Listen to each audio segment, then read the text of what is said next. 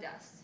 Gonna have um, a goal down here on the goal line and a goal over here on the far blue line. It's Gonna be a coach with pucks in, in this corner and a coach in the opposite corner with pucks over here.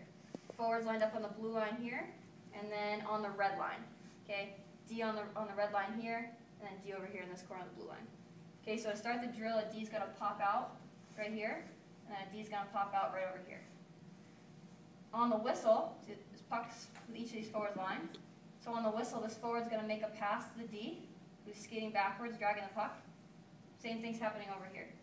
This D is then gonna make a pass to the first forward in this line, who needs to be ready. Okay? This forward, after she makes the pass, is looping down, staying nice and low for a good angle. And then this forward is giving her a pass back. This forward's then gonna take the puck down, take a shot on net. Okay? This D is following the play up.